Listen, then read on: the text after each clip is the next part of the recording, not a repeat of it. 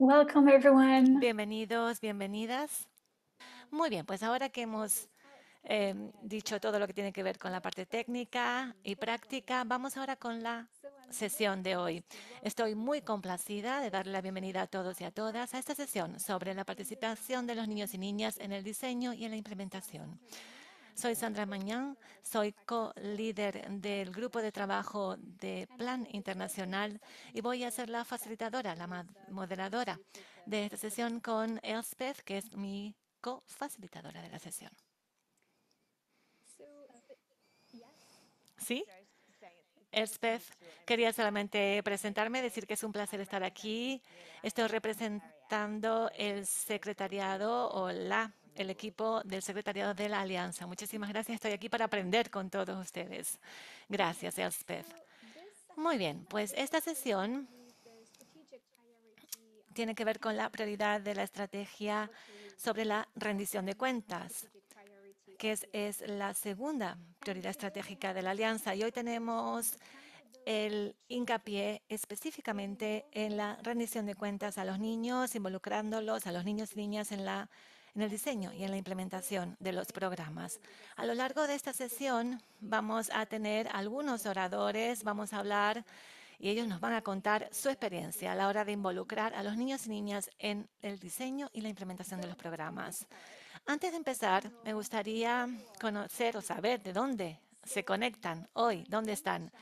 En el chat tendrán un enlace al Mentimeter, a esta plataforma de Mentimeter, y lo que nos gustaría. Muchísimas gracias a los productores. Aquí tenemos el enlace donde ustedes pueden ubicarse en el mapa del mundo para que nos cuente desde dónde están conectados, conectadas, porque nos gustaría saber dónde están, de dónde nos siguen hoy. Vamos a dar unos minutitos.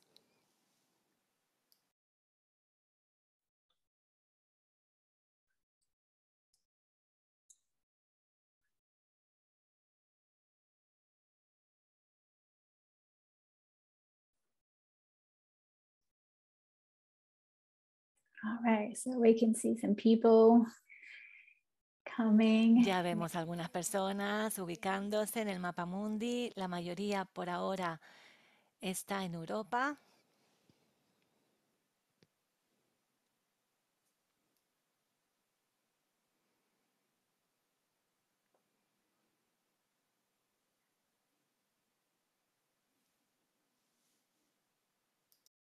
Right, so mainly European this morning. This is, Pues sí, esta mañana tenemos sobre todo a europeos. Es muy temprano para los eh, americanos y los latinoamericanos. Muchísimas gracias por estar aquí. Bienvenidos, bienvenidas sean. Bueno, ahora me complace mucho dar la bienvenida a los tres panelistas que tendremos hoy en esta sesión.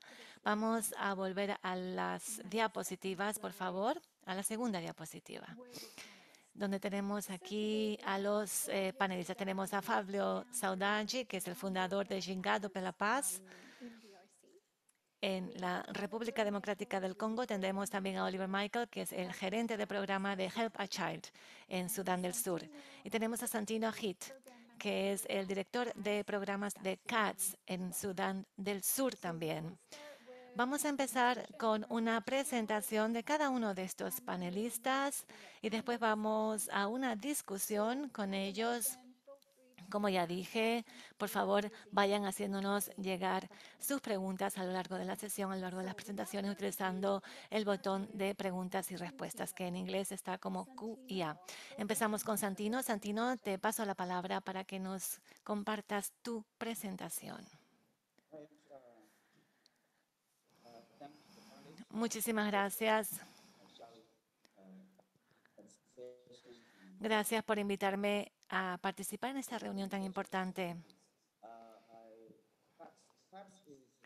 Primero voy a presentarles mi organización. CATS es una ONG nacional en Sudán del Sur. Trabaja en varias áreas de Sudán del Sur, en WOW, en TOEN, Awel, Wow y Awel del Este. Y en LOL también. Nuestro enfoque tiene que ver con los derechos de expresión de los niños y niñas, violencia de género, seguridad hídrica, seguridad alimentaria, consolidación de la paz y también protección del medio ambiente, entre otras áreas donde nos enfocamos aquí en Sudán del Sur en nuestra organización. Siguiente diapositiva, por favor. Me gustaría, bueno, después de haberles eh, presentado un poquito CATS, la organización que represento.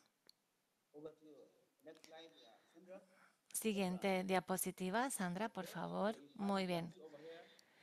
Como pueden ver aquí, tienes que pasar otra diapositiva, Sandra, por favor.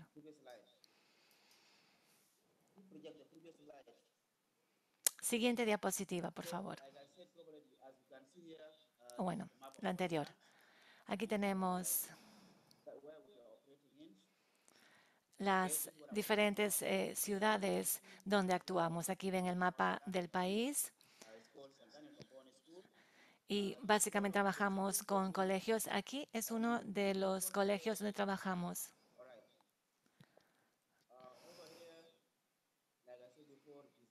Como ya dije anteriormente, Esto ya lo había dicho, que son las áreas donde trabajamos. Aquí vemos el mapa del país.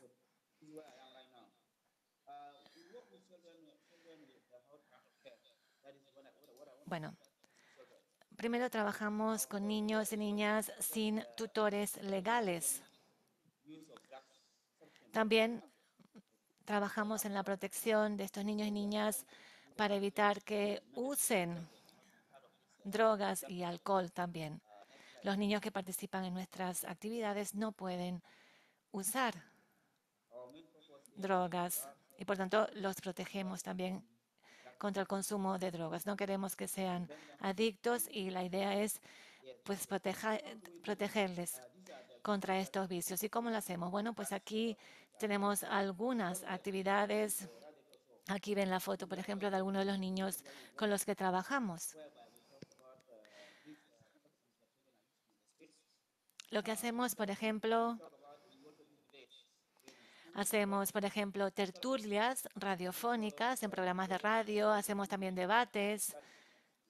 Intentamos alentar a los eh, niños y niñas a que, se, a que sean adultos responsables, ciudadanos responsables. Trabajamos también con teatro, con la dramatización, también con obras de teatro, para abogar por los derechos de los niños y niñas. También hacemos el trabajo de incidencia para incluir los derechos de los niños y niñas en los sermones, en las homilías diarias, en las iglesias. Y hacemos también en todas nuestras reuniones en las iglesias también usamos estos mensajes sobre la protección de los derechos de los niños y niñas. Siguiente diapositiva, por favor. Siguiente. ¿Me oyen? Bien. Siguiente diapositiva, por favor. Bueno, ¿por qué elegimos el teatro para trabajar con los niños y las niñas? Podemos decir que el teatro entretiene y puede divulgar, pasar mensajes muy sencillos para los niños y niñas. Trabajar con teatro, intentamos educar a estos niños y niñas pasando mensajes sencillos, importantes sobre los derechos que los protegen.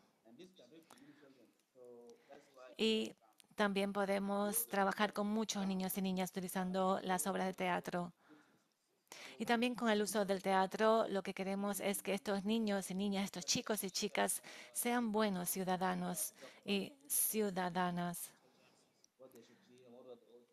les animamos a que sean realmente buenos ciudadanos en su futuro, en su vida futura. También la idea es que a través del teatro puedan ser estudiantes de éxito durante toda la vida, que siempre tengan esta, estas ganas de aprender. Por lo tanto, que sean buenos ciudadanos también está muy vinculado con este tema. También tenemos el componente de creatividad y de la productividad, o sea, individuos creativos y productivos en sus comunidades. Esto es lo que queremos. Donde quiera que se encuentren, en las comunidades donde viven en Sudán del Sur.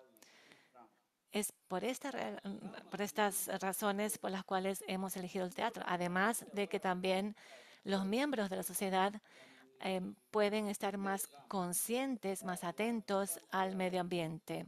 Cuando estos niños y niñas trabajan y se involucran en actividades de teatro, en actividades artísticas, también están mucho más atentos a sus alrededores, al medio ambiente, de dónde vienen, qué tienen que hacer también para poder ser buenas personas, buenos ciudadanos y ciudadanas en sus comunidades y aportar a su país. Por eso hemos utilizado y hemos elegido el teatro para hablar con estos niños y con estas niñas. Y también la idea es que básicamente es así como los involucramos. Hablamos muchísimo con estos niños y con estas niñas, con estos adolescentes en también en las iglesias, como parte de los sermones también, de las misas. Y la idea, hemos hecho mucho trabajo, como también vieron en la primera foto que les mostré, con niños que viven en la calle. Muchos de estos niños también y niñas son huérfanos o son hijos eh, de familias monoparentales. La idea es eh, darles actividades extracurriculares. Algunos de estos niños y niñas ni siquiera tienen la oportunidad de ir al colegio porque sus familias no pueden permitirse pagar las mensualidades. Por lo tanto, es por ello por lo que los involucramos en las actividades de teatro. Y es lo que hacemos con estos niños en las localidades del país que les mostré para que los niños sepan involucrarse, participar en nuestras actividades. Esta es parte de mi presentación. Si hay algo que no entendieron, pues estoy aquí y puedo después aclarar algún punto. Te paso la palabra, Sandra. Muchas gracias. Gracias, Santino. Muchísimas gracias. Y sí, parece que hubo una pequeña, un, pequeño retraso con el audio que nos llega desde Sudán del Sur, pero muy interesante la presentación, interesantísimo, como nos han contado cómo involucran a los niños y niñas, a los adolescentes a través del teatro para pasar estos mensajes a los chicos, a las comunidades, cómo también participan con las iglesias y cómo es una forma más sencilla de pasar mensajes a la comunidad y también para desarrollar destrezas para los niños y niñas, como por ejemplo oratoria, eh, entre otras destrezas, también competencias son, por ejemplo, destrezas que les sirven para el resto de su vida. Muchísimas gracias, Santino. Ahora vamos a a Oliver. Oliver de Help a Child. Vamos a la primera diapositiva.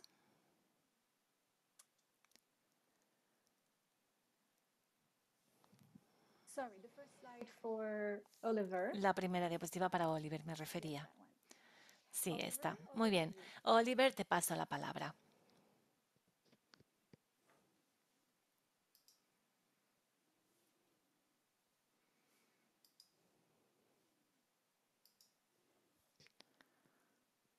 La intérprete se disculpa, pero parece que no nos llega el audio de Oliver.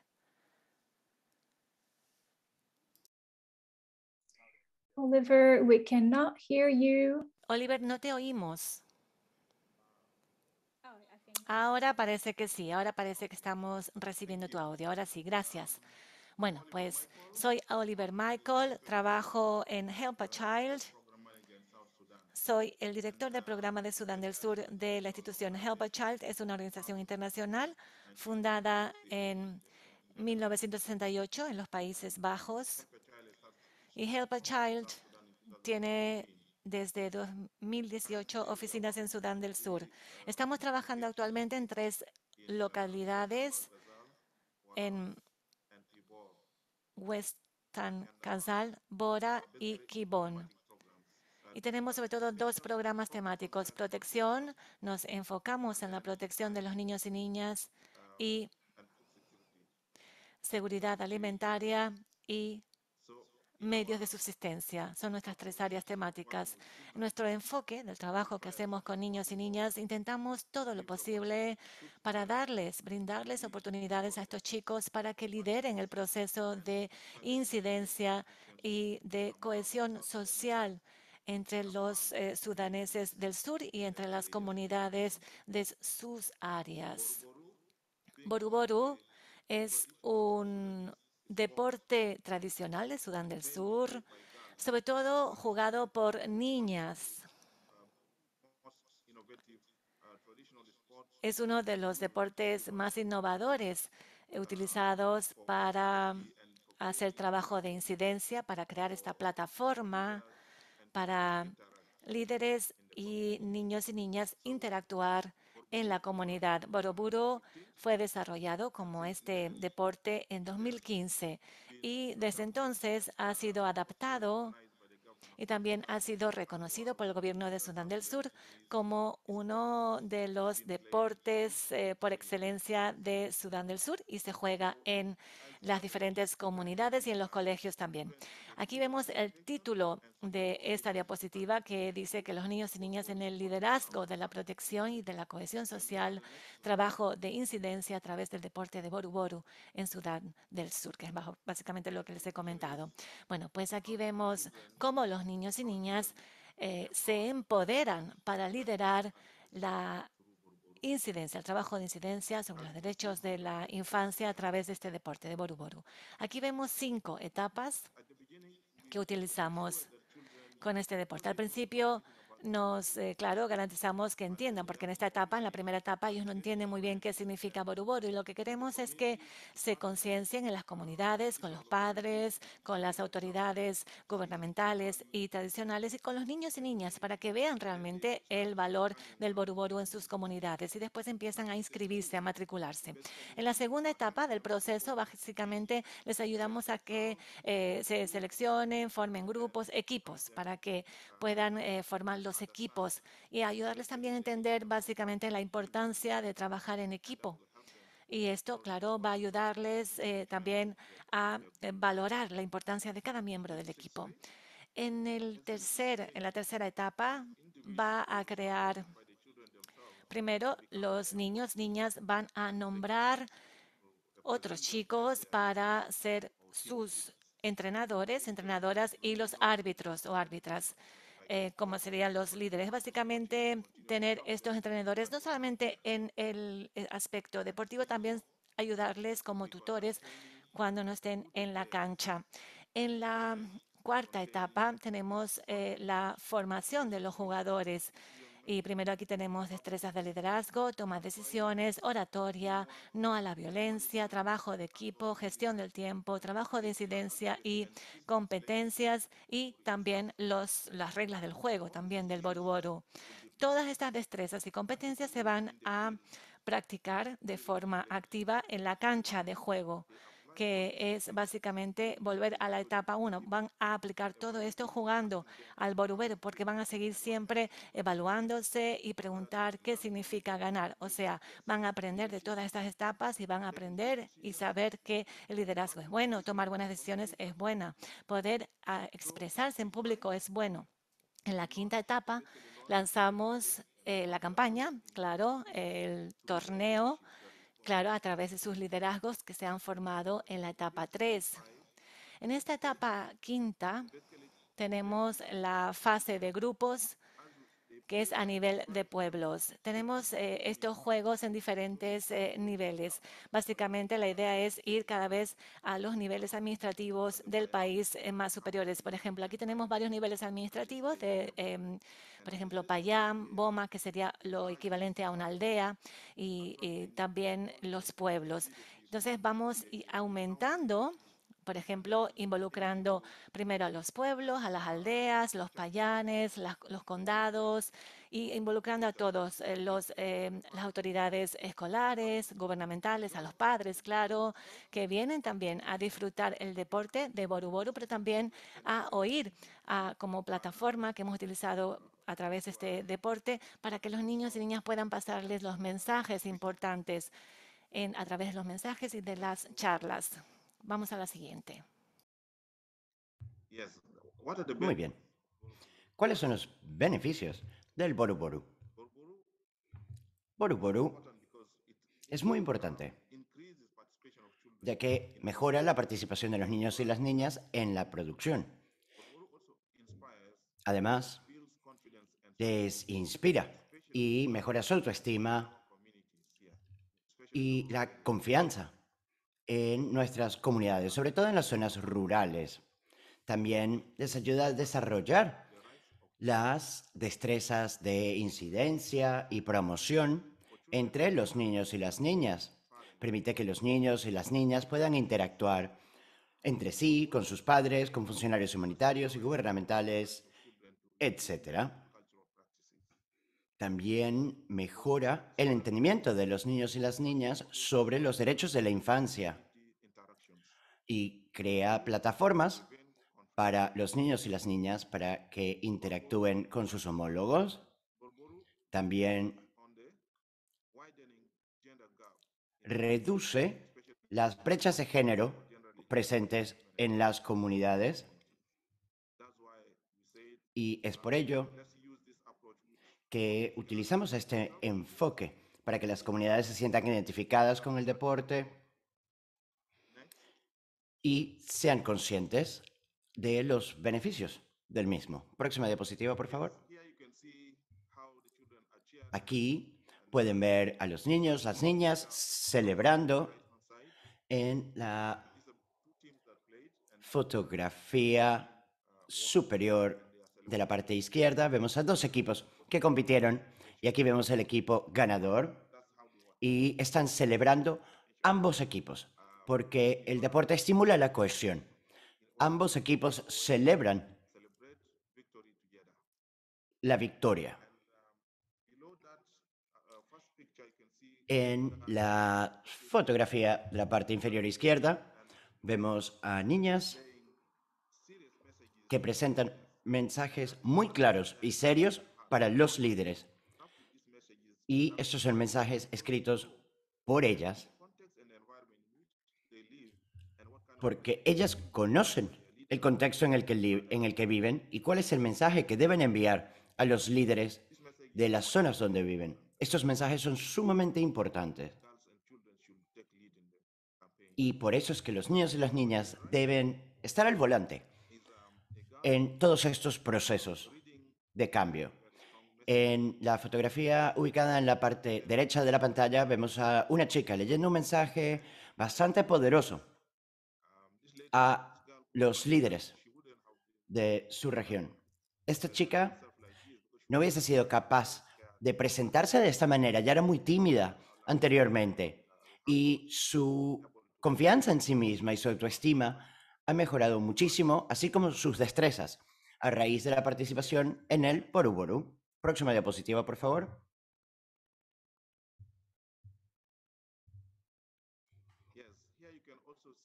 Aquí también podemos ver el impacto que tiene la plataforma creada por Boruboru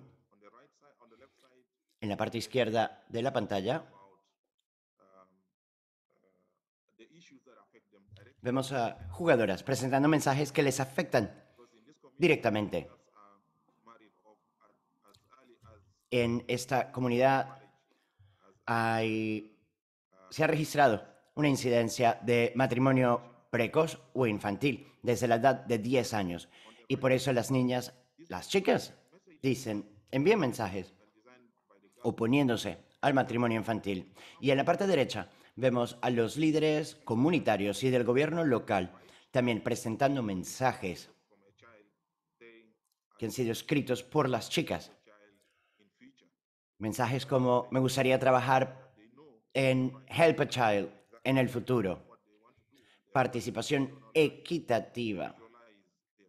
La participación equitativa es beneficiosa para todos y todas. Necesitamos seguridad y bienestar. Esa ha sido mi presentación. Si tienen alguna pregunta, estaré encantado de responderla. Muchísimas gracias. Gracias, Oliver. Me ha inspirado muchísimo tu presentación. Me encanta ver cómo han utilizado el deporte como un medio para empoderar a las chicas, a los niños, niñas, y cómo puede también mejorar la confianza en sí mismos y mismas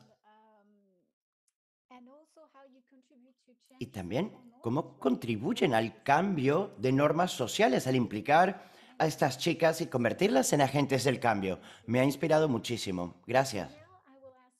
Ahora me gustaría pedir a Flavio que eh, tome la palabra. Quiero recordarles a los participantes, antes de dar la palabra a Flavio, que deben seleccionar su canal de preferencia del servicio de interpretación, porque Flavio va a presentar en francés. En la parte inferior de la pantalla en Zoom pueden seleccionar su canal de preferencia, bien sea español o inglés. Flavio, adelante. Muchísimas gracias, Sandra. Gracias por esta oportunidad. Y gracias a Oliver también por la maravillosa presentación que acabo de escuchar. Yo trabajo para una organización que se llama Gingando por la Paz, que utiliza el capoeira para luchar contra la violencia armada, lo que llamamos la capoeira social. Comenzamos a trabajar en Brasil.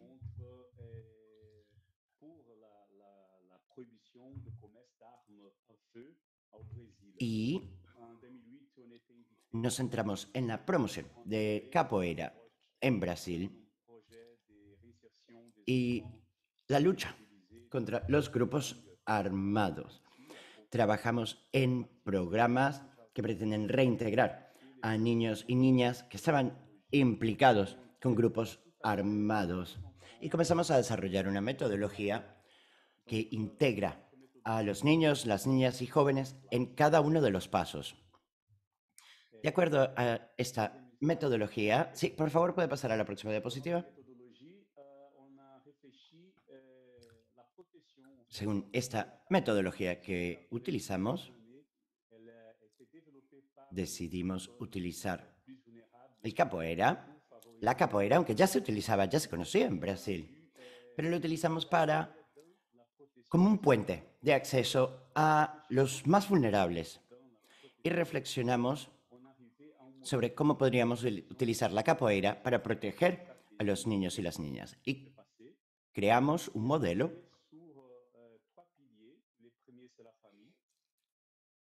que se basa en tres pilares. Uno de ellos es la familia. En segundo lugar está la comunidad. Y en tercer lugar, la capoeira. En la imagen que ven en pantalla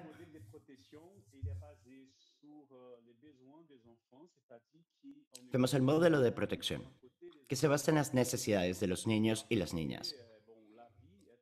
Y nuestro objetivo es estar ahí, en todas las etapas, escuchando y apoyando a los niños, porque la vida es un derecho, pero seguir viviendo es un privilegio para muchos de estos niños y niñas. Y hemos sido capaces de identificar que los niños, las niñas necesitan un entorno seguro, su familia, también iglesias, su comunidad.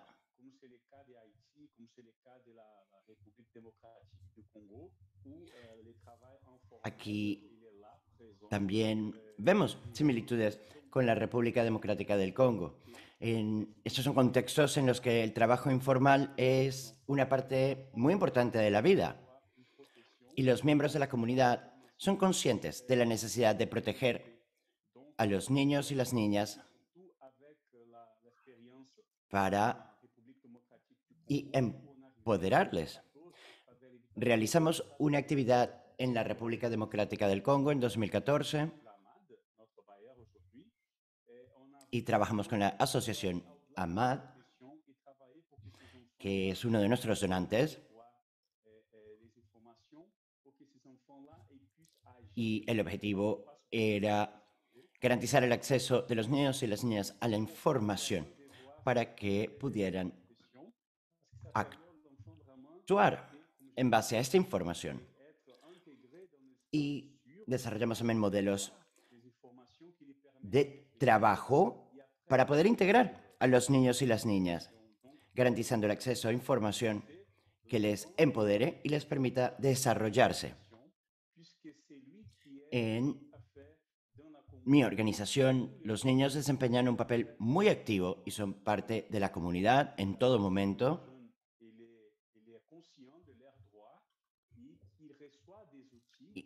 Y, son conscientes de sus derechos, así como de las herramientas a su alcance, que les permiten convertirse en los primeros agentes responsables de su propia protección. También trabajamos con los padres de estos niños y niñas, quienes tienen padres. Y esto ha permitido crear relaciones basadas en la confianza. Porque en contextos como el de la República Democrática del Congo y Brasil, contextos en los que hay violencia, pues en lo que se registra la violencia, pues se pone fin a esta confianza. Esto es algo que debemos volver a crear, a desarrollar. Nosotros entonces creamos un modelo de protección y tuvimos que reflexionar sobre el desarrollo de los niños y las niñas.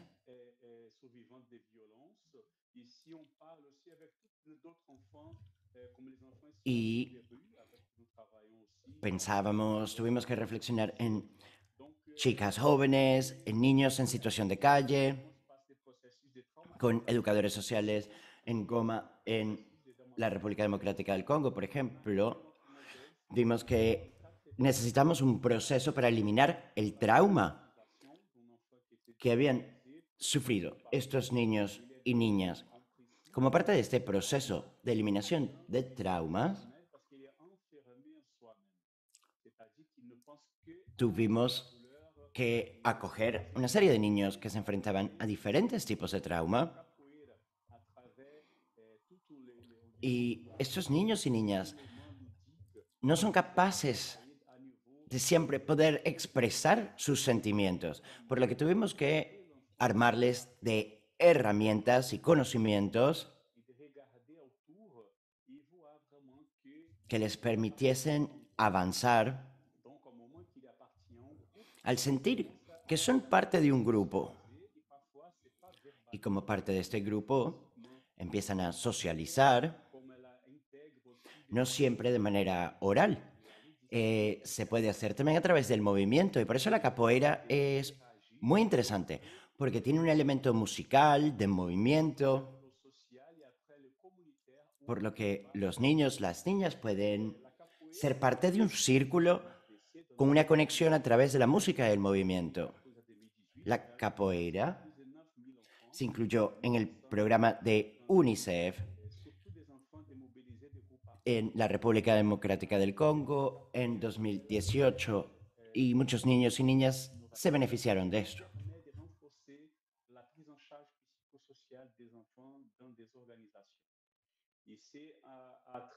También nos permite mejorar el apoyo psicológico de los niños y las niñas. Y esto se hizo para poder integrar a los niños y las niñas en la respuesta. Se les integra en cada uno de los pasos de nuestro enfoque y estamos planificando actividades y son principalmente los niños, las niñas y adolescentes que son parte de este proceso. Decidimos, tras el programa de UNICEF en torno a la capoeira, decidimos crear un centro de formación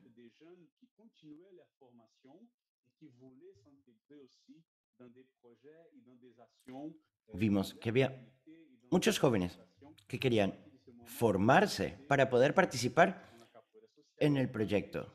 Y fue por ello que empezamos, que dimos inicio al Centro de Formación de Capoeira Social, centrados en la integración, la formación y la acción. Nos permitía, este centro nos permite diseminar información a los jóvenes, a los y las jóvenes, para que reflexionen sobre sus destrezas, las desarrollen. Y aquí no se considera la capoeira como un arte marcial, sino como un trabajo. Y por eso lo llamamos capoeira social. En los centros de formación formamos a los y las jóvenes en más detalle en todo lo relacionado a la capoeira tradicional. Y también integramos los derechos de la infancia y los derechos de la mujer en nuestra formación para empoderarles y tras la formación pasamos a la acción. Utilizamos los elementos pedagógicos de un formador muy conocido en Brasil. Realizamos una serie de acciones e iniciativas con los niños y las niñas. El formador es Paulo Freire y se moviliza a grupos de niñas que han sido objeto de abusos sexuales y esto se hizo en colaboración con otros socios y alianzas nacionales e internacionales. Y también se entabla un diálogo. Próxima diapositiva, por favor. Esto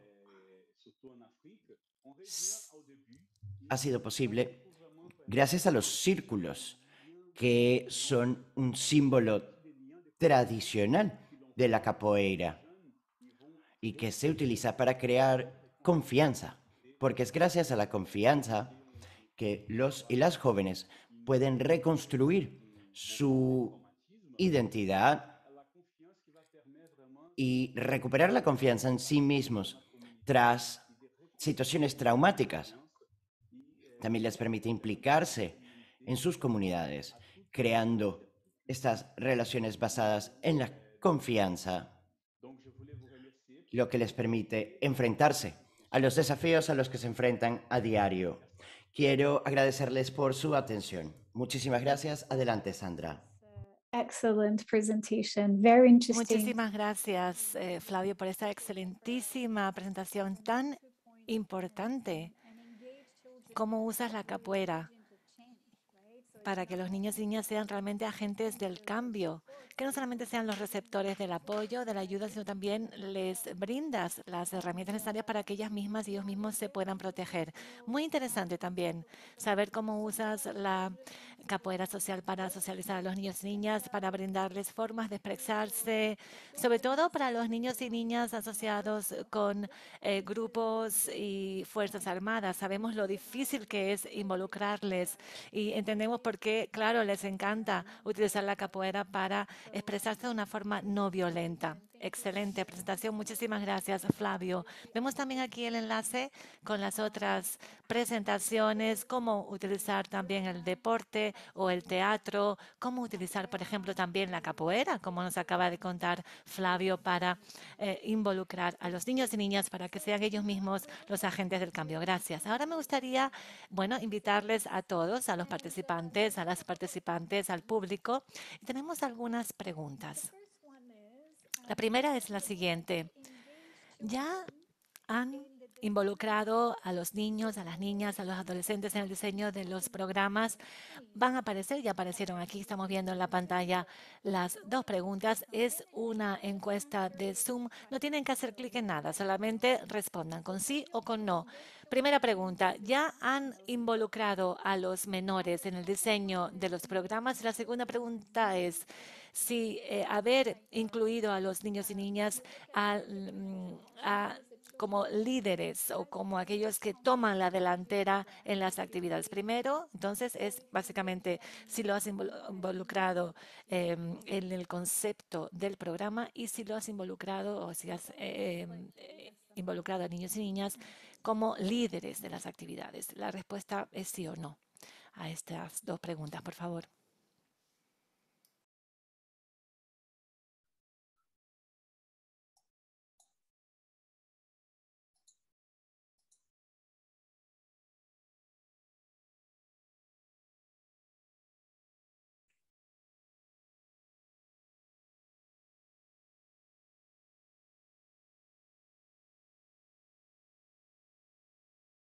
All right, okay.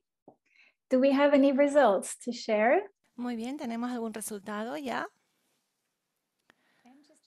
Interesante. Bueno, pues sí, para la primera pregunta, algunos de ustedes han involucrado a los niños y niñas en el diseño de los programas. Enhorabuena, sabemos que no es nada fácil y vemos también que es un poco más fácil involucrarlos como líderes, como aquellos que toman un poco eh, las riendas de las actividades. Y hemos visto también hoy en las diferentes charlas que nuestros oradores nos han presentado las ventajas de involucrarlos como eh, un poco líderes de las actividades. Muchas gracias por la participación. Interesantes los resultados. Ahora vamos a la discusión del panel. Tenemos algunas preguntas para nuestros panelistas. Nuevamente, por favor, eh, utilicen la función de preguntas y respuestas que están en la parte inferior de la, de la pantalla. Si quieren hacer alguna pregunta a los panelistas, después tendremos, tendremos también un tiempo para que ustedes hagan preguntas directamente a los panelistas. La primera pregunta que yo tengo para ustedes es la siguiente. ¿Nos podrían contar un poquito más sobre cómo los niños, las niñas están involucrados en el diseño y en la implementación de sus programas, de los programas que nos han compartido. En primer lugar, me gustaría hacer la pregunta a Oliver. Oliver, ¿nos podrías contar cómo con Help a Child, con tu organización, involucras a los niños y a las niñas en el diseño y en la implementación de los programas, por favor? Parece que el sonido de Oliver no nos llega. Ahora sí. Muchísimas gracias por la pregunta, Sandra. Mira, en Help a Child, como les presenté, involucramos a los niños y a las niñas básicamente presentando nuestro enfoque en la comunidad y explicándoles, mira, tenemos esta iniciativa, les interesa y nos dicen, sí, sí, sí, conocemos al deporte boru tradicional y les explicamos, bueno, pero el Boruboru ahora eh, se ha desarrollado de una forma diferente y les decimos, ¿quién quiere matricularse para este proceso? Y claro, empezamos también con nuestro centro de Help a Child para hacer las inscripciones, las matriculaciones, después empezamos con los entrenamientos eh, sobre las reglas eh, y las directrices del juego y después también ellos tienen que seleccionar sus propios líderes, los árbitros, los entrenadores. Y ellos empiezan también a liderar el proceso Después empiezan a hacer el deporte, a jugar los diferentes partidos. Empezamos a mostrar también durante los partidos, durante el intervalo de los partidos, empezamos también a mostrar mensajes. Y los niños empiezan así a discutir, por ejemplo, temas y problemas que les afectan. Por ejemplo, experiencias traumáticas, eh, problemas psicosociales. Esto empieza a fortalecer su confianza, su seguridad y su autoestima, su amor propio.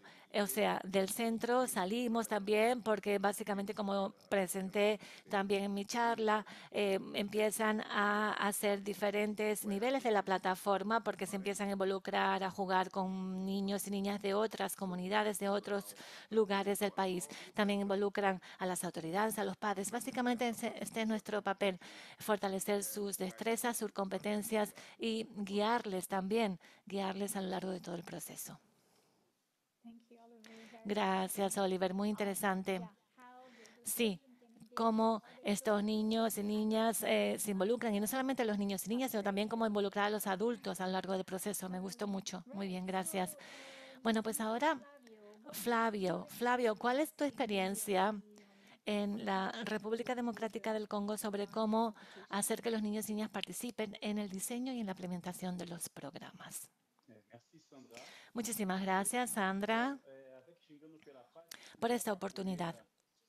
Mira, pues eh, por el Gingado por la Paz eh, capoeira representa la comunidad. Siempre estamos en círculos porque la capoeira se juega y se baila en círculos y siempre involucramos a los niños y niñas desde el principio. En Haití ya incluso involucramos a los niños y niñas en el diseño de nuestro modelo de desarrollo y a partir de este momento empezamos a invertir en los niños, niñas y en los jóvenes y eh, chicas y chicos porque los líderes tienen que formarse desde muy, muy temprano.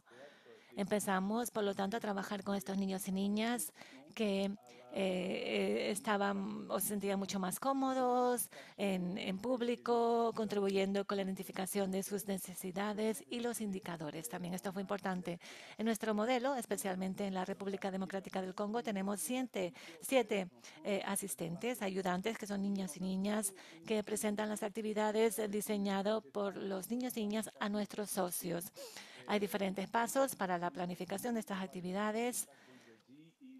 Por lo tanto, eh, las eh, planificamos los lunes, se evalúan todos los viernes y hay una conversación eh, continua para la identificación de las necesidades de los niños y niñas, posibles cambios en relación a la estrategia y también la identificación de los indicadores. Los indicadores son importantes porque lo que no queremos es solamente hablar de los temas que son intangibles, sino también indicadores. Los niños y niñas tienen una capacidad extraordinaria de encontrar respuestas y soluciones a sus problemas. En la República Democrática del Congo enfrentamos muchísimos problemas, violencia y también desastres naturales y sabemos que los niños, las niñas son muy buenos diseñando y encontrando respuestas. Nuestro modelo es un modelo circular donde todos participan. Tenemos el grupo de asistentes apoyado también por la coordinación pedagógica y esto nos permite que los niños y las niñas puedan fortalecer sus acciones también en la comunidad y trabajamos con organizaciones socias entre otras eh, Real Africa, aquí en la República Democrática del Congo, para que los niños y niñas estén todos, eh, todo el tiempo involucrados, involucradas en el diseño de las actividades, basándose en nuestro modelo eh, que ya se ha elaborado previamente con los niños, con los chicos y chicas en Haití.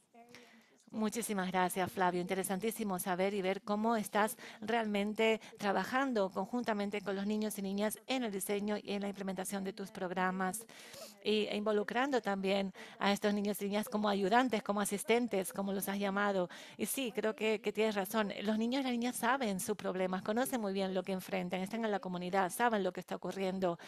Y empoderarles para que emprendan acciones, para que lideren y orienten a otros niños y niños es muy poderoso. Muchas gracias. Muy bien. Bueno, pues eh, ahora tengo otra pregunta y la pregunta es un poco más sobre el impacto. La pregunta, me, lo, me gustaría plantear la pregunta a Santino. Santino, ¿cuál es el impacto que has visto después de haber involucrado a estos niños como líderes de las actividades? ¿Cuál es, cuál es el impacto que has visto? Gracias, Sandra. El impacto, bueno, pues eh, cuando involucramos a los niños y niñas en las actividades, en primer lugar lo que vemos, eh, primero la sensación que los niños y niñas eh, sienten, se sienten líderes, están empoderados, empoderadas.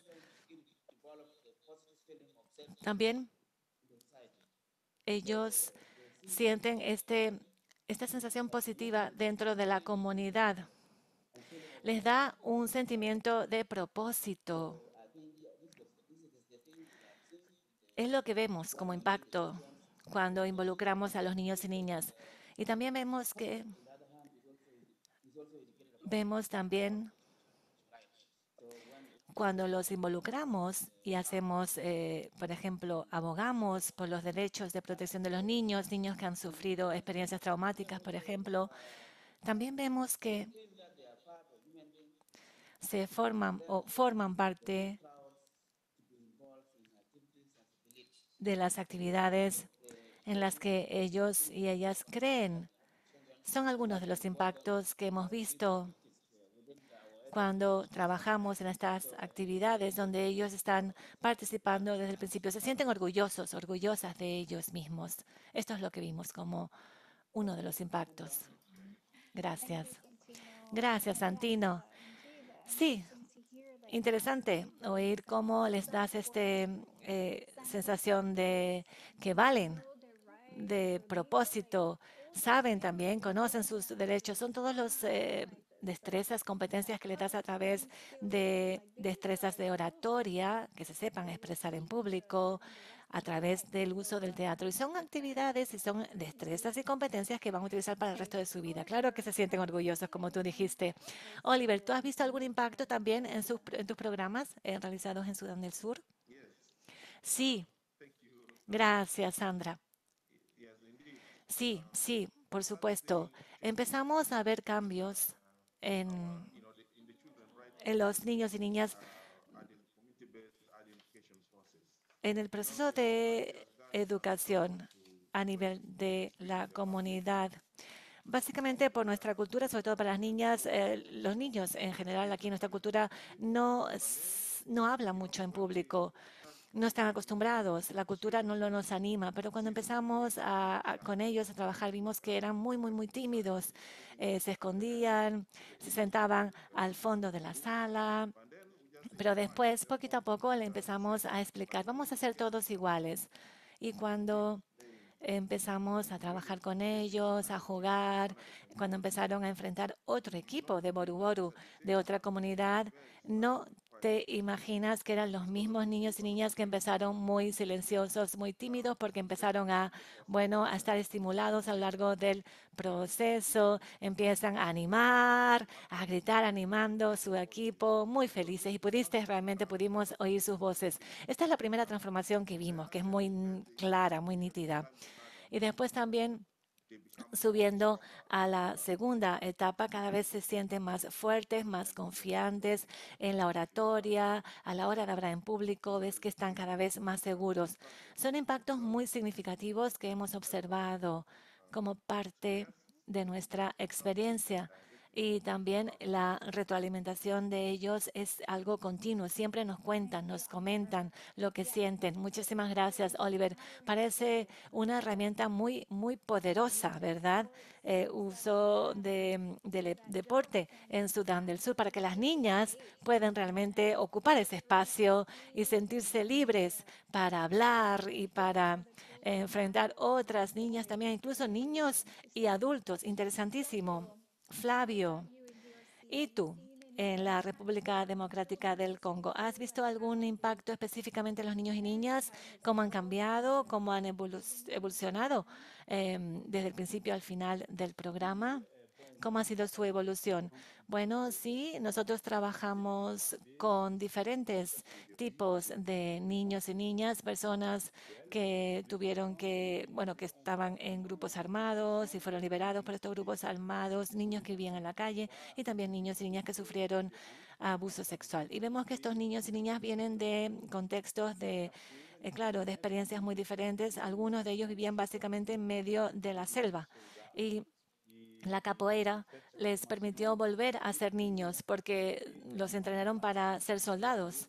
Y este entrenamiento para ser soldados em, destruyó eh, la empatía. No sentían más empatía hacia el otro. Y a través de la capoeira, del deporte, de la capoeira, los niños, las niñas pueden volver a ser niños y niñas nuevamente y estar con otros niños, sentir empatía por el otro. Esto es específicamente para las niñas y para las mujeres que sufrieron, son las supervivientes de abuso sexual. Después de, del curso vimos que algunas niñas, bueno, después del abuso, algunas querían suicidarse cuando las violaron. Y gracias a la capoeira, esta niña específica que estoy pensando eh, ahora, niñas que fueron violadas, estaban vacías, se sentían vacías, no se podían mirar a los ojos. Y gracias a la capoeira estaba en un lugar seguro, se podían expresar físicamente y verbalmente. Y notamos también que las niñas empezaron, a, a ser más conscientes de ellas mismas, a tener más percepción de ellas mismas, empezaron a recuperar su identidad como persona, como ser humano, como niña, como joven. A partir de ese momento querían dar, retribuir lo que habían recibido. Y es ahí cuando vemos que muchas niñas, muchas niñas que pasaron por experiencias muy traumáticas, ahora están entrenando, formando a otras niñas, a otras mujeres. Tienen un poder muy, muy fuerte en, su, en la forma en la que hablan, en la comunidad y también en los espacios de formación. Por lo tanto, para mí es un impacto excelente y extraordinario que podemos presentarles y que, bueno, se hizo gracias a nuestra organización socia. Muchísimas gracias, Sandra. Fascinante, fascinante cómo la capoeira puede ayudar a las niñas, a los niños a reconstruir sus identidades. Eh, incluso ese sensación de, bueno, volver a recuperar la percepción de su propio cuerpo. Es, es fascinante. Gracias. Wow, todo lo que podemos hacer involucrando a los niños y a las niñas es fantástico. Bueno, pues ahora, ahora tenemos una pregunta para el público, para los participantes. Sabemos que cuando involucramos a los niños, niñas, a los chicos y chicas a las actividades no es fácil. Tenemos muchos retos en este trabajo a la hora de involucrarlos. En el chat tenemos un enlace al Mentimeter para que ustedes puedan, por favor, explicar o compartir con nosotros los retos que han enfrentado a la hora de hacer lo que nuestros oradores nos han comentado, o sea, involucrar a los niños, a las niñas en los programas. Aquí tienen el código para entrar o también el código QR.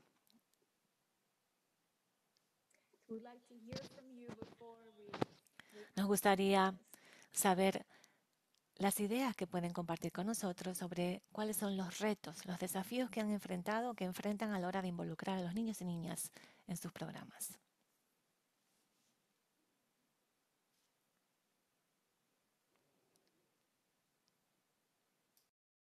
challenges? ¿Cuáles son los principales desafíos entonces? Sí, sí. Los niños y las niñas siempre están muy ocupados.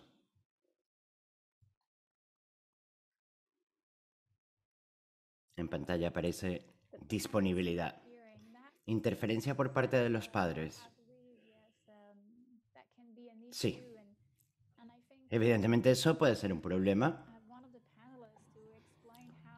Y es importante considerar esto, ¿no? Porque demuestra la importancia de implicar también a los padres. Esto se mencionó en una de las presentaciones para que entiendan qué es lo que estamos haciendo con sus hijos, sus hijas, que entiendan que están seguros, que no estamos haciendo nada malo, que entonces es importante implicar a los padres desde el principio, asegurarnos de que tenemos su consentimiento y que entienden las ventajas que estas actividades aportan a sus hijos y sus hijas. ¿Algún otro desafío?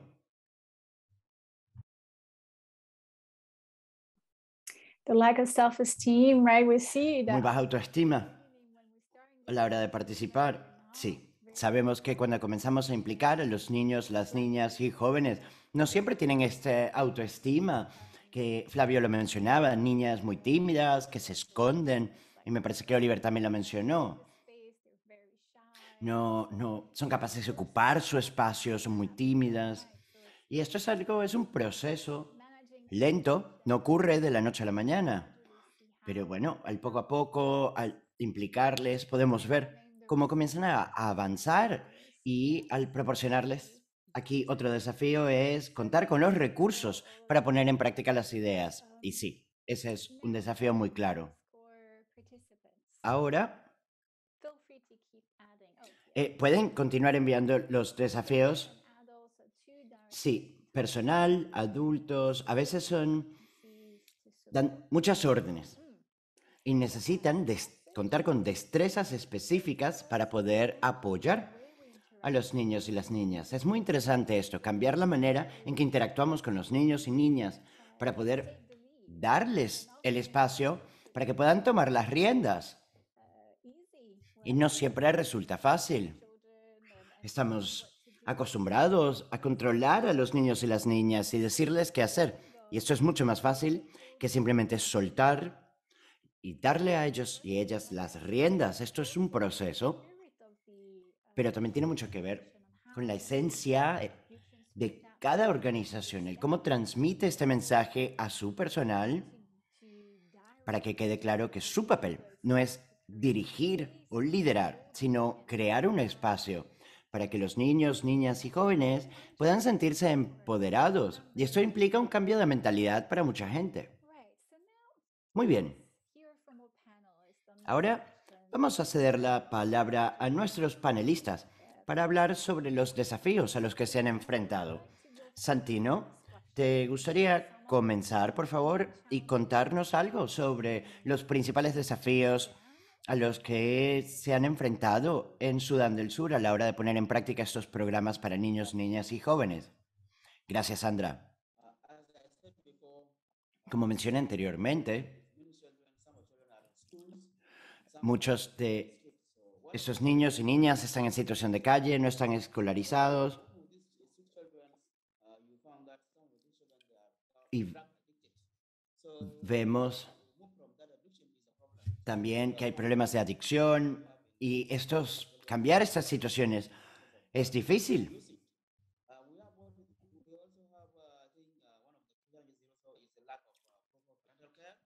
También existe otro desafío que es la falta de cuidados por parte de los padres y también la influencia de sus homólogos.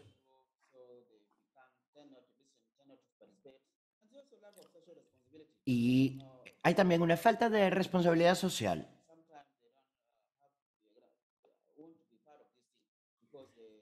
En ocasiones no se sienten que son parte de la comunidad. En Sudán del Sur nos enfrentamos a una gran cantidad de problemas, como la falta de acceso a la educación y queremos que estén escolarizados. Algunos de ellos no van a la escuela porque no tienen los fondos necesarios. Entonces, sí, los problemas económicos son otro reto.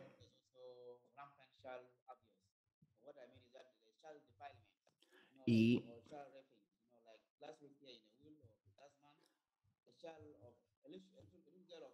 los niños y las niñas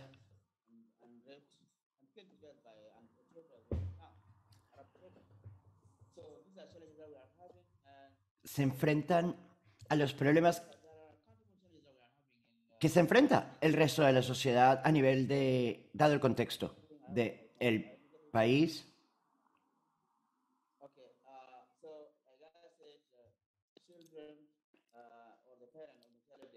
Y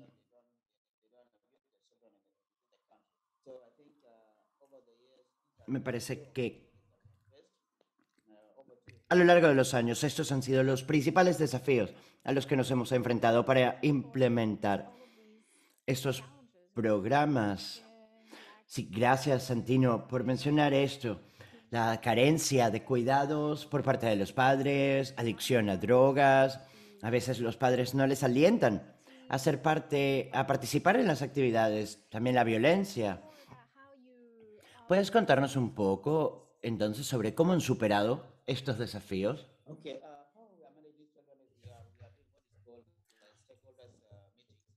Bueno, celebramos una serie de reuniones con las partes interesadas, con los niños, las niñas, jóvenes, sus padres, a fin de que de salvar un poco las brechas que existen entre nosotros y los niños. También colaboramos con las escuelas.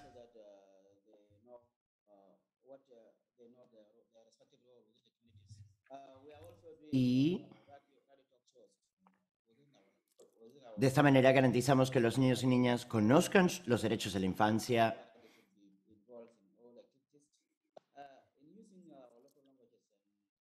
Y también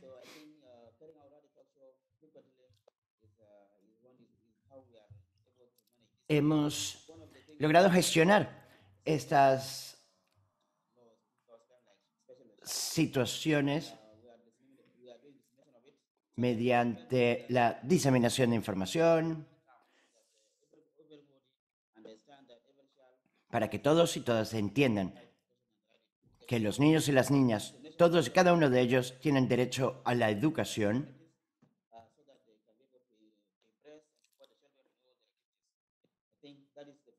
y me parece que eso ha sido lo más eficaz para nosotros a la hora de enfrentarnos a estos desafíos. Durante las reuniones con partes interesadas.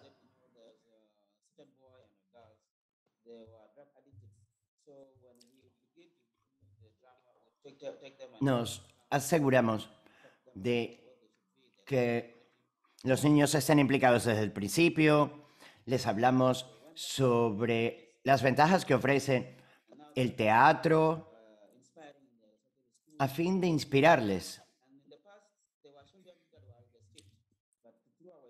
Y mediante nuestras intervenciones y reuniones, vemos que podemos sensibilizar a la comunidad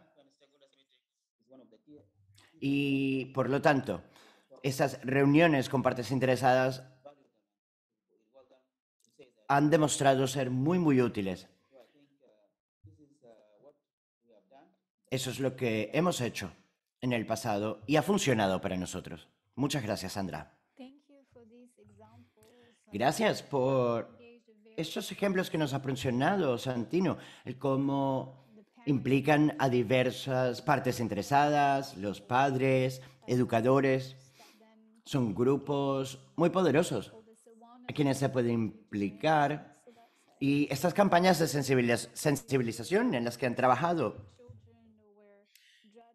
es eh, muy útil de verdad. Y vemos cómo han podido utilizar la música o el teatro para mejorar la autoestima de los niños y, y también para que la gente crea en estos niños y niñas para que ellos y ellas puedan verse a sí mismos de otra manera, que no solo eres bueno para consumir drogas, puedes hacer otras cosas. Fue muy interesante. Gracias, Santino. Ahora me gustaría volver la mirada a Oliver. ¿Puedes hablarnos un poco sobre los desafíos a los que se han enfrentado? ¿Cuáles han sido los mayores retos? Sí, gracias, Sandra.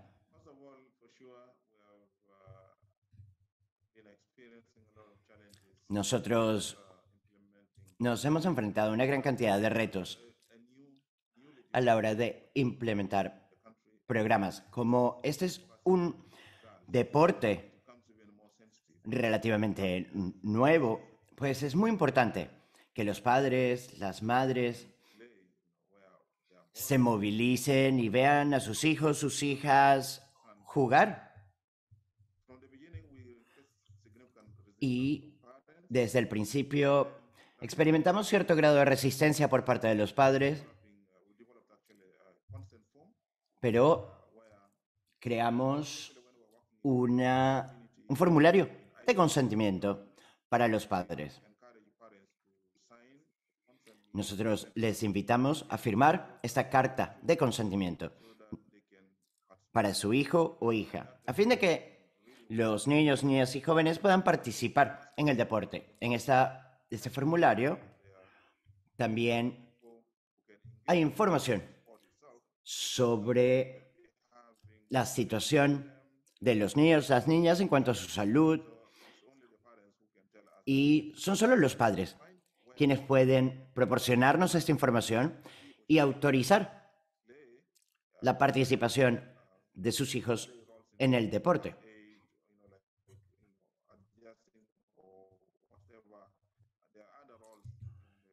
Pero también cuando hay problemas de salud y los niños y niñas no pueden jugar en la cancha, pues pueden desempeñar otras funciones tras bambalinas.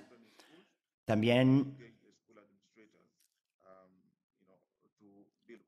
Hemos colaborado con los colegios, las escuelas, para mejorar la autoestima de estos niños y niñas en las campañas de incidencia.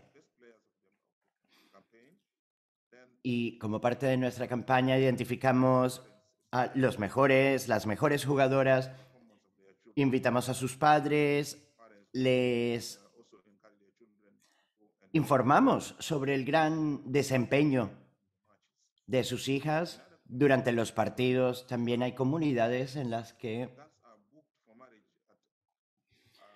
hay una alta incidencia de matrimonio infantil.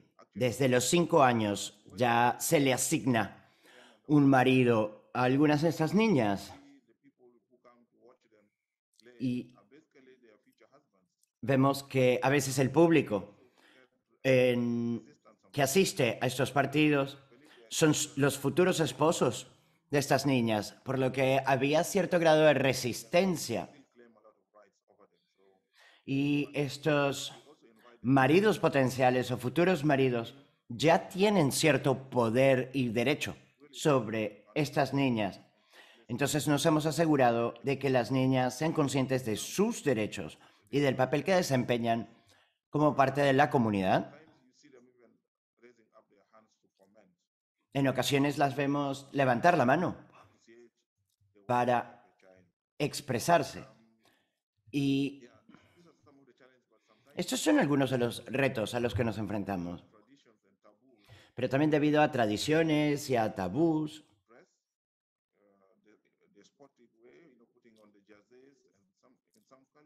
Vemos que hay zonas, hay países, hay regiones donde las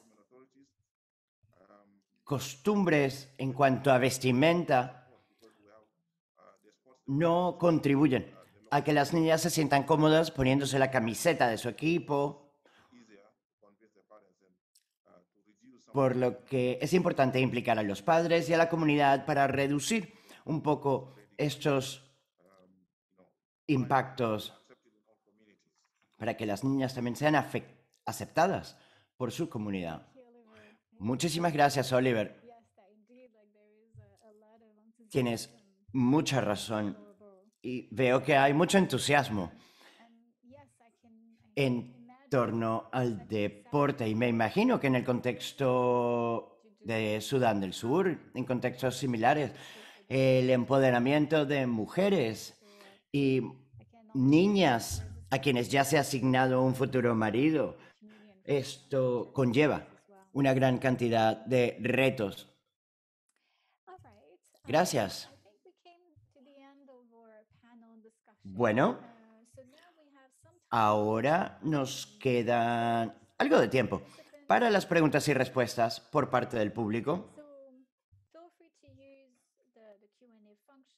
Recuerden que pueden utilizar la función de preguntas y respuestas Q ubicada en la parte inferior de la pantalla si quieren hacer alguna pregunta a nuestros panelistas o si hay algo que no haya quedado claro o sobre lo que quieren más información. Y mientras esperamos las preguntas del el público, tengo una pregunta más para los panelistas. Me imagino que en el contexto en, los, en el que trabajan, en la República Democrática del Congo, Sudán del Sur, hay también una serie de riesgos. Ya hablamos de los retos, pero me pregunto entonces si han adoptado alguna medida antes del inicio del programa para mitigar estos riesgos. Cuestiones que hacen con conciencia para atenuar los riesgos, para garantizar que cuentan con las salvaguardias necesarias para mitigar estos riesgos. Flavio, ¿le gustaría comentar algo al respecto en base a el contexto de la República Democrática del Congo? Sí, muchas gracias, Sandra.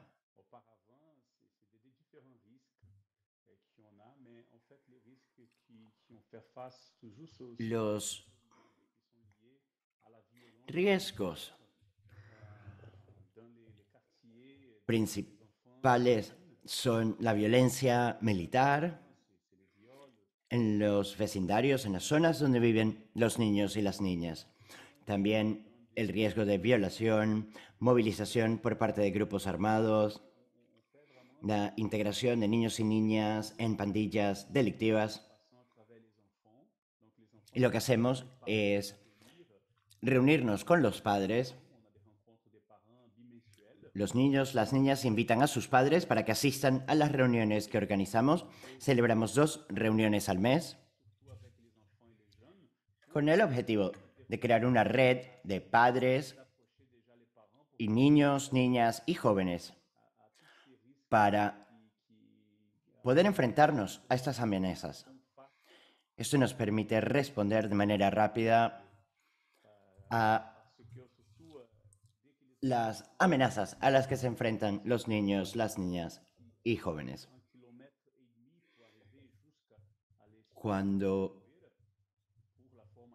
a veces los niños, las niñas tienen que ir andando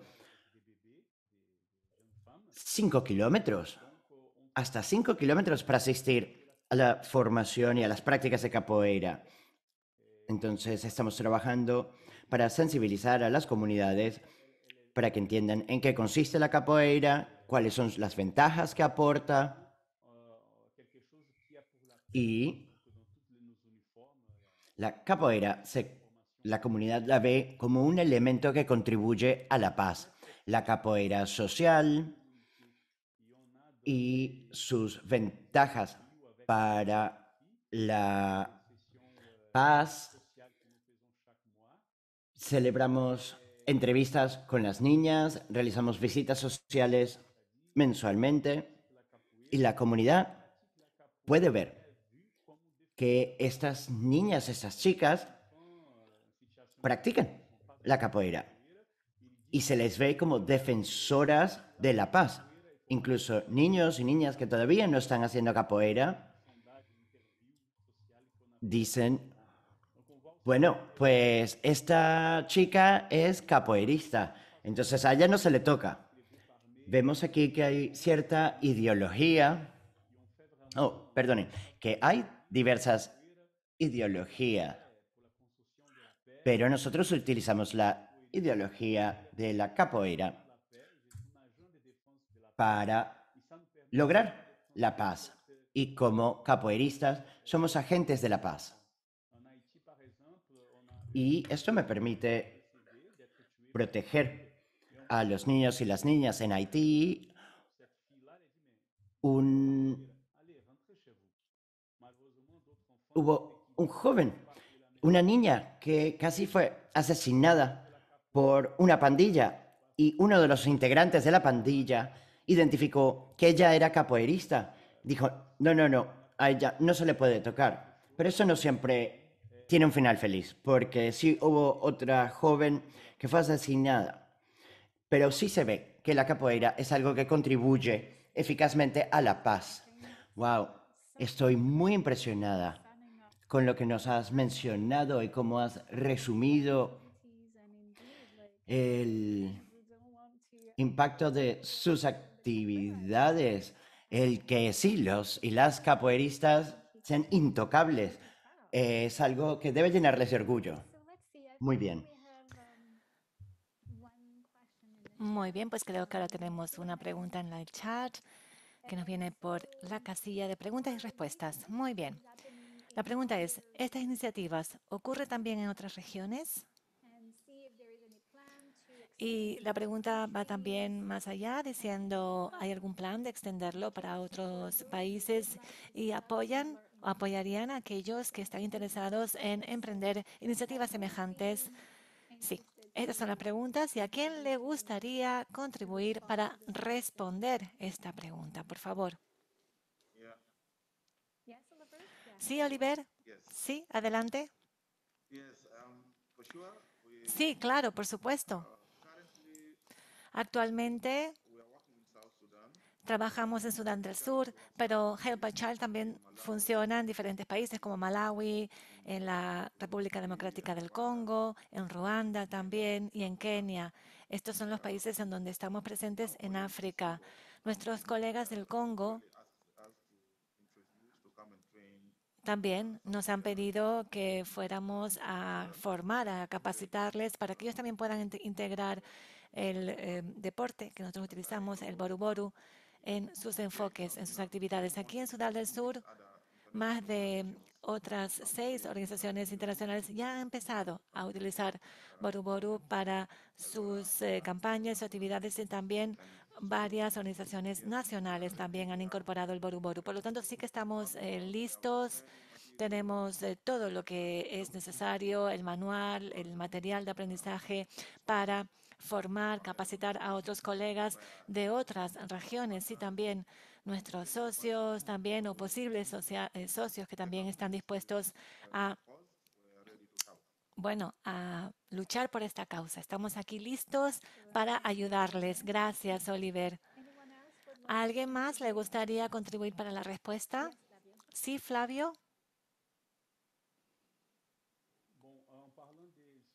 Bueno, hablando sobre la formación y los centros de formación de capacitación para la capoeira social tenemos tres objetivos. Primero, apoyar la organización que ya está utilizando la capoeira social. Por lo tanto, nuestro objetivo es transferir este enfoque innovador para otras organizaciones, como por ejemplo el programa que realizamos con UNICEF. Trabajamos con em, el programa de UNICEF para ciudades y comunidades amigas de la infancia. También tenemos con otras fundaciones también para integrar eh, la capoeira en sus acciones para niñas que son supervivientes de abuso sexual. También tenemos una alianza con CACHEF, que es un centro de orientación para niños que han sido liberados de grupos armados. También trabajamos con socios, con otras organizaciones, porque aunque hayamos actuado durante muchísimos años, tenemos pruebas de los impactos positivos con el uso de la capoeira. Queremos fortalecer las alianzas para poder realizar estudios y para estar seguros de que esta tecnología social se puede transferir a otras eh, instituciones, a otras instituciones socias, incluyendo otras organizaciones en otros eh, países de África. También nos gustaría crear una red, una red para la capoeira social en África y también en Latinoamérica.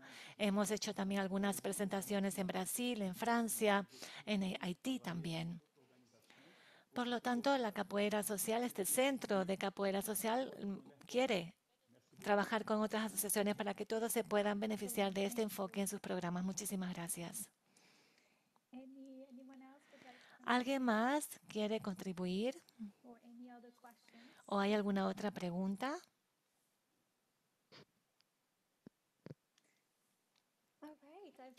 Muy bien, pues eh, con esto llegamos al fin de este webinario. Me gustaría darle las gracias a todos nuestros panelistas, a los tres presentadores por todas sus contribuciones, por haber compartido con nosotros el trabajo tan fantástico que realizan, muy inspirador, por lo menos para mí. Estoy segura de que para todos los participantes y las participantes ha sido algo maravilloso de poder escuchar.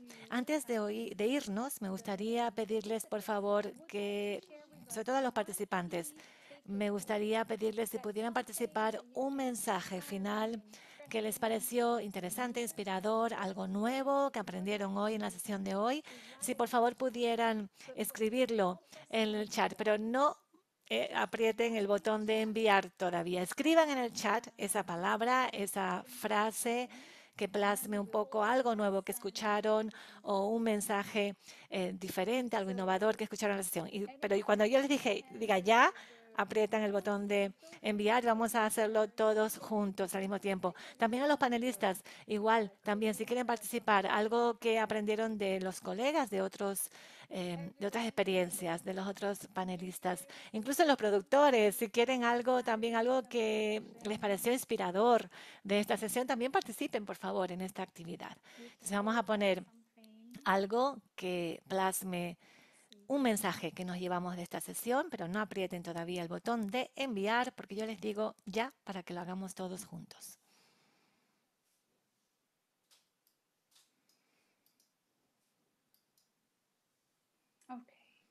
Muy bien. Muy bien, pues seleccionaron a todos en el chat, ¿sí? O sea que ahora todos van a poder, todas van a poder ver la respuesta. O sea, es para todos. Everyone está en inglés en el chat. Y yo les voy a decir cuándo hay que enviarla.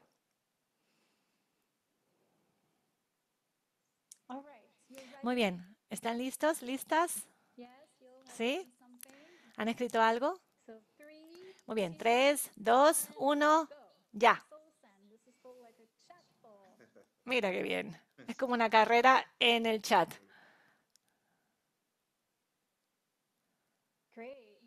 Excelente. Excelentes ideas. Muchísimas gracias a todos.